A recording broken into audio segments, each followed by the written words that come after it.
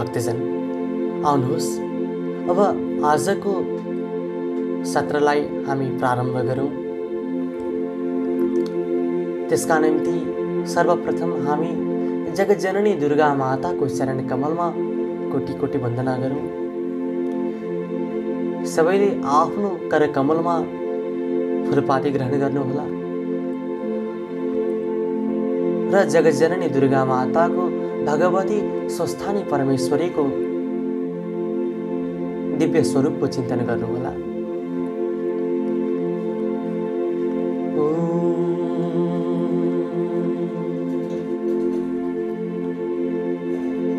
यं ब्रह्मा वरुणीन्द्ररुद्रमरुत स्तुन्वन्ति दिव्यैस्तवैः। वेदैः साङ्गपदक्रमोपनिषदै गायन्ति यं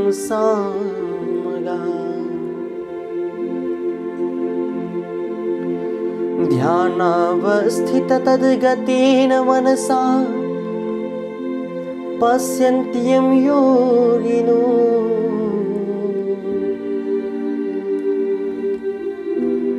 यस्यान्तं न विदुः सुरासुरगणः देवाय तस्मै नमः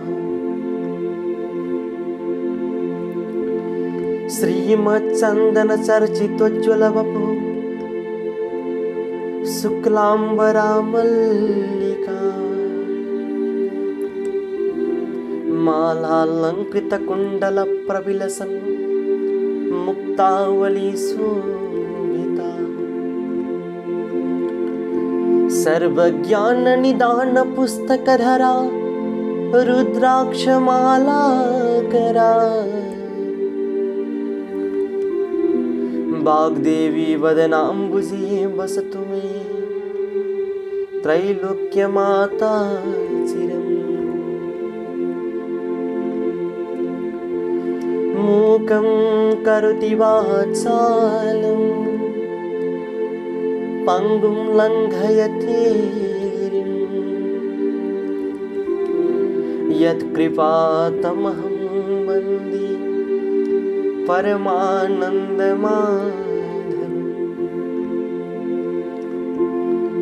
नमो भगवते तस्मै व्यासाय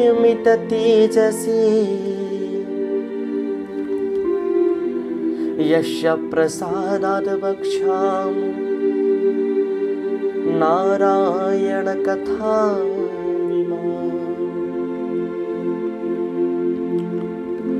नारायणं नमस्कृत्य नरं चैव नरोत्तमम्। देवीं सरस्वतीं व्यासं ततो जयमुदीरये देवीं ततो जयमुदीरये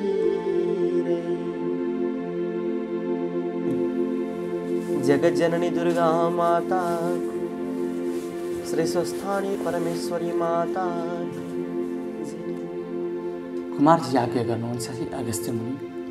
त्यसपछि हिमालय पर्वतले आफ्नो पत्नी मेनका गर्भिणी भएको थाहा पाए अत्यन्त हर्षपूर्वक आफ्नो मर्यादा अनुसार उचित कर्म गरिदिए।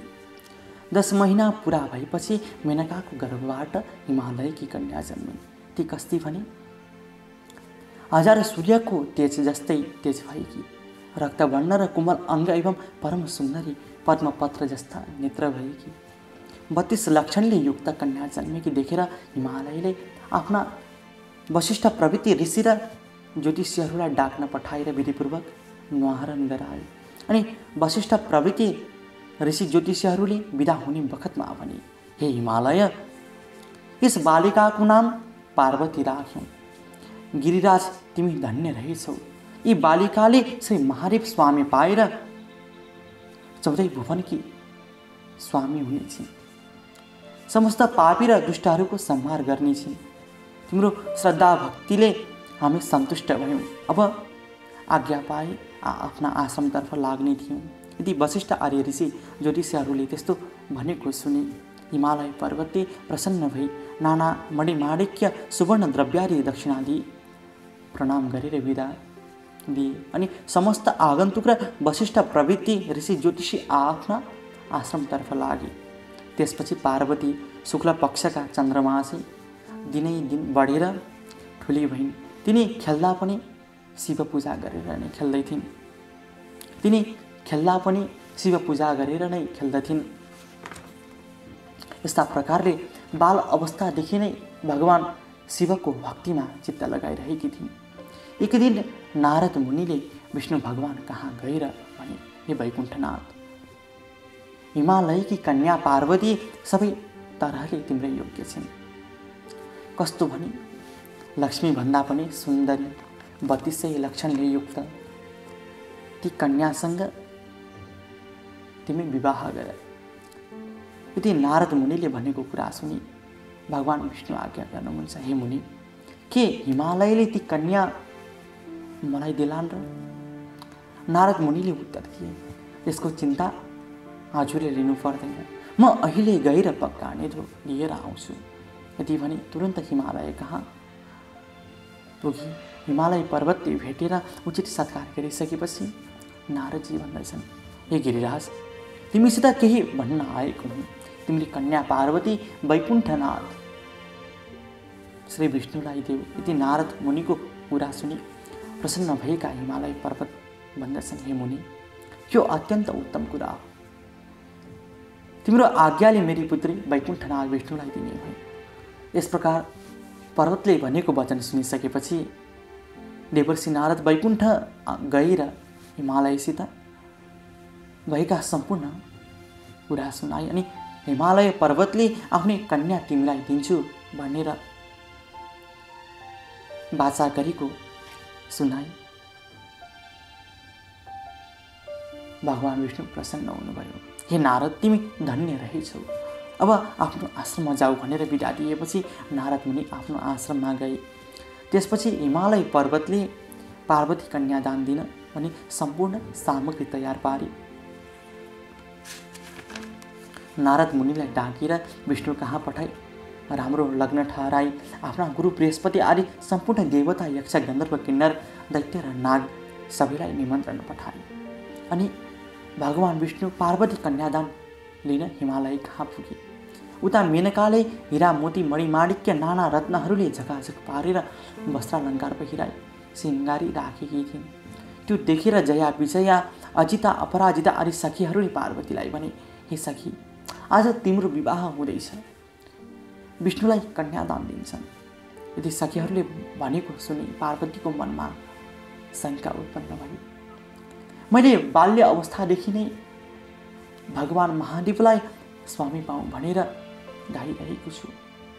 अझ पनि महादेवलाई नदिएर अरू कसैलाई दिए त भने त म आत्महत्या गरेर मर्नेछु तिनको कुरा सुनेर सखीहरूले भने हे पार्वती यदि त्यसो हो भने तिमी यहाँ नबस। हामी कसैले पनि नदेख्ने स्थानमा लुकाउँछौँ ल यदि सखीहरूले भनेको सुने। हे सखी हो जसो गर्ने हो गर। म केही जान्दिनँ भने त्यसपछि सखीहरूले नदीको तटमा रहेको वनमा लगेर पार्वतीलाई कसैले नदेख्ने एकान्तमा लुकाएर आए। त्यसपछि हिमालय पर्वतले आफ्ना गुरु बृहस्पतिलाई यज्ञमा बसाली सारा विधि गरिसकेर कन्यादान दिन पार्वतीलाई लिन पठाए। तर घरमा देखेनन् र यताउता खोज्दा कहीँ पनि फेला परिनन्। कहीँ पनि पाउन सकेनन् र हिमालय पर्वतले आफ्ना अत्यन्त व्याकुल भई गुरु बृहस्पति कहाँ गएर पार्वती कहीँ पनि छैनन्।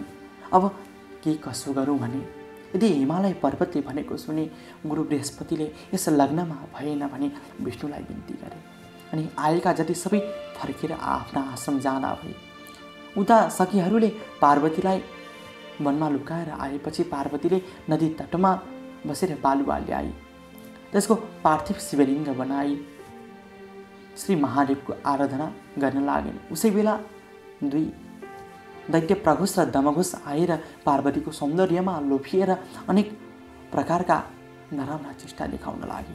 तिनको चेष्टा देखेर पार्वतीलाई रिस उठेर उनले हेर्न साथ दुवै भस्म भई अनि पार्वतीले बनाएको शिवलिङ्गबाट स्वयं महादेव प्रकट भई आफ्नो ज्योतिर्मय स्वरूपको दर्शन दिनुभयो र हे पार्वती तिमीले मेरो आराधना किन गरेकी?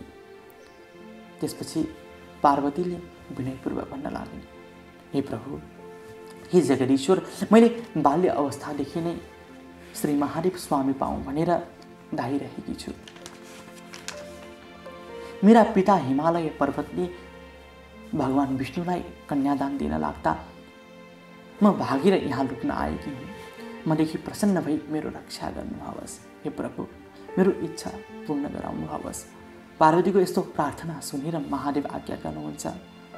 हे पार्वती तिम्रा माता पिताले कन्यादान नदिए मैले तिमीलाई मेरी भन्न मिलेन। फेरि विष्णु आएर तिमीलाई जस्तो उपदेश दिनन् उसै माफिक विधि उपाय अवलम्बन गरे। तिम्रो इच्छा पूर्ण हुनेछ। महादेवको यस्तो शिक्षा सुनेर पार्वतीले जो आज्ञा भने साष्टाङ्ग दण्डवत प्रणाम गर्न लागे। अनि भगवान् महादेव अन्तर्धान भई आफ्नो धामतर्फ लाग्नुभयो। त्यसपछि सखीहरू आएर पार्वती घर गइन्। छोरी आएकी देखेर रिसाएका हिमालयले भने हे पुत्री तिमी कहाँ गएकी थियौ?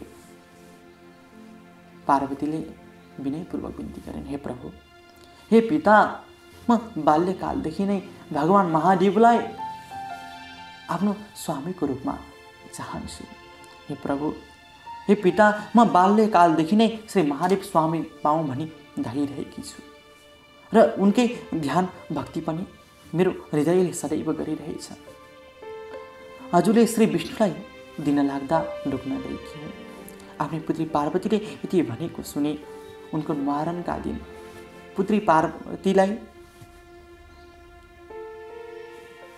वशिष्ठ प्रवृत्ति ऋषि र ज्योतिषीहरूले उनका विषयमा बताएका सम्पूर्ण भविष्यवाणी सम्झेर हिमालय पर्वत चुप्प लागे त्यसपछि पार्वतीले विष्णु कहिले आउलान् र श्री महादेव स्वामी पाउला भनी अनेक तीर्थ व्रत दान धर्म जप तप नियम पालन गर्न लागिन्। फेरि निकै दिन बालुवाको शिवलिङ्ग बनाई पार्थिव पूजा पनि गरिन्। तिनको अडिक श्रद्धा एवं भक्तिभाव देखेर विष्णु भगवान् गरुडमा चढी शङ्ख चक्र गदा पद्म धारण गरी पार्वतीको सामुन्य आएर आज्ञा गर्नुभयो। हे पार्वती तिमीले अनेक तीर्थ व्रत तप दान धर्म पूजापाठ यज्ञ आदि गरेको देख्दा म अत्यन्त प्रसन्न भएको छु। तिम्रो मनमा जे इच्छा छ सो भर माग म दिन तयार छु भगवान् विष्णुले त्यस्तो आज्ञा भएको सुनि पार्वती बिन्ती गर्छिन् हे ईश्वर हे परमब्रह्म परमात्मा मलाई केही वरदानको इच्छा छैन म केवल भगवान् महादेवलाई स्वामी प्राप्त गर्ने इच्छा राख्दछु सो मलाई वरदान दिनुहोस् पार्वतीको यस्तो प्रार्थना सुनि भगवान् विष्णु आज्ञा गर्नुहुन्छ। हे पार्वती तिमीले परिश्रम साथ गरेका यी तीर्थ व्रत दान धर्म व्रत उपवासभन्दा पनि एउटा अति उत्तम र गोप्य कुरा भन्दछु। तिमी एकचित्त भएर ध्यानपूर्वक सुन। श्री स्वस्थानी परमेश्वरीको व्रत गर। त्यस व्रतको प्रभावले जगदीश्वर श्री महादेव स्वामी पाउनेछ यसमा शङ्का छैन। श्री विष्णुले यति आज्ञा भएको सुनि पार्वतीले फेरि बिन्ती गरिन् हे जगदीश्वर त्यस व्रतको विधान के हो? त्यसमा के के गर्नु पर्दछ यो सबै विस्तारपूर्वक आज्ञा गर्नुहोस्। पार्वतीको प्रार्थना सुनि विष्णु भगवान् आज्ञा गर्नुहुन्छ हे पार्वती पौष शुक्ल पूर्णिमाको दिनदेखि व्रत आरम्भ गर्नुपर्दछ एक दिन पहिले नै हात खुट्टाका नङ काटी स्नान गरेर पवित्र भई एक भक्त रही।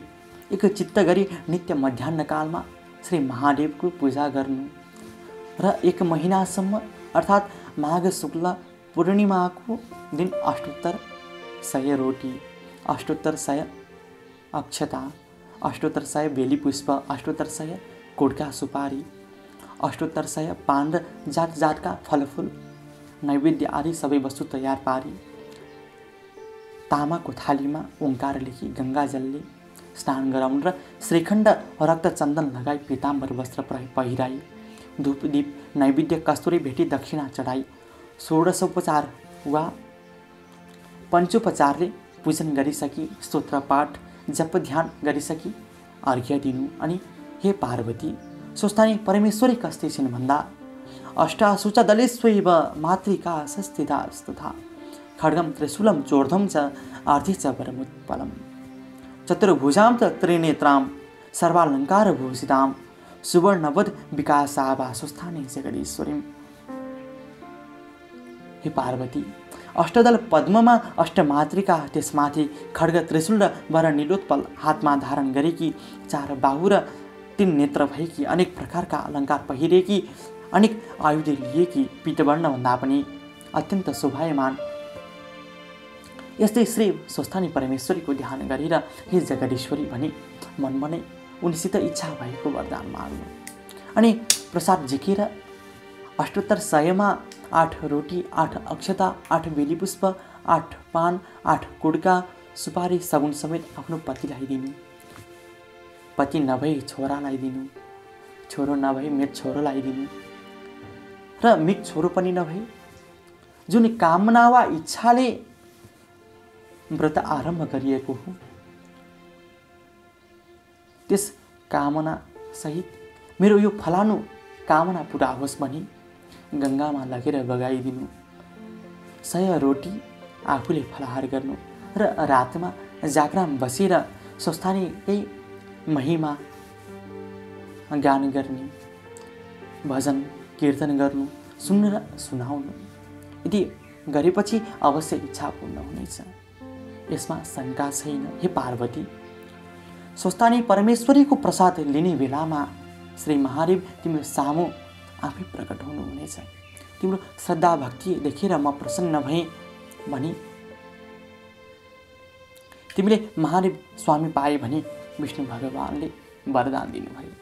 हे अगस्त्य मुनि नारायण विष्णुले यदि आज्ञा भएपछि पार्वतीले मनमा सन्तोष र आनन्द मान्दै श्रद्धासहित विष्णुको पनि पूजा र प्रणाम गरिन् तिनले पूजा गरिसकेपछि विष्णु भगवान् विदा भर भएर गरुडमा चढी त्यहाँबाट अन्तर्धान भई वैकुण्ठ धाम जाँदा भए यस प्रकार ओम श्री स्कन्द पुराणे केदार खण्डी माघ महात्मी कुमार अगस्त्य सम्बारे श्री स्वस्थानी परमेश्वर्या व्रतकथायां श्री विष्णु स्वस्थानी व्रतो पदेश वर्णनं नाम द्वादश। भक्तजन यस प्रकार आजको कथा प्रसङ्गलाई हामी यहीँ बिट पार्छौँ आगामी दिनहरूमा पनि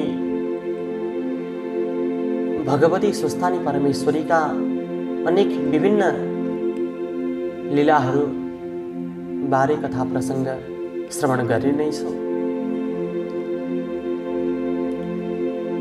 आउनुहोस् सबैले आफ्नो कार्यकमलमा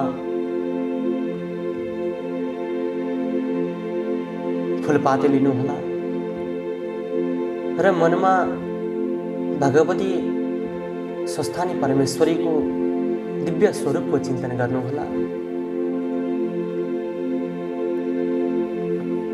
उपनयतु मङ्गलं वः। सकलजगन्मङ्गलालय श्रीमान्। दिनकरकिरणनिबोधित नवण्डलिनदलनिभीक्षणः कृष्ण। काले वर्षतु पर्जन्यः पृथिवी सस्यशालिनी देशोऽयं क्षोभरहितो ब्राह्मणाः सन्तु निर्भयाः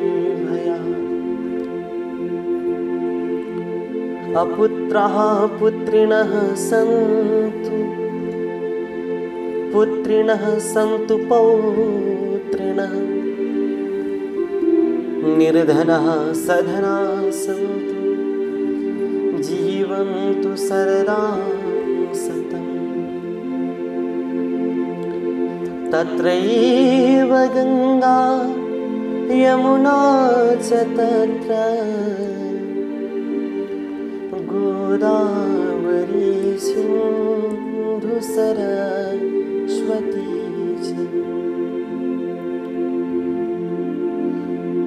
तीर्थाणि सर्वाणि वसन्ति तत्र।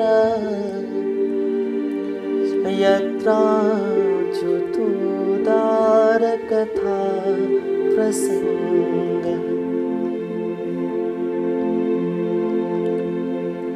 या कुन्देन्दु या शुभ्रवस्त्रावृता या वीणावरदण्डमण्डितकरा या सुतपद्मासना या ब्रह्मा देवये सरा वन्दिता सा मां पातु सरस्वती भगवती निःशेषजाड्या कायेन वाचा मनसेन्द्रियैर्वा बुद्ध्यात्मना वा प्रकृतिः स्वभावा। करोमि यदि यद् सकलं परस्मै। नारायणायेति समर्पयामि। नारायणायेति समर्पयामि। जगज्जननी दुर्गा माता श्री सांब सदा शिव भगवान को जय। लक्ष्मी नारायण भगवान। को श्री सुस्थानी परमेश्वरी माता।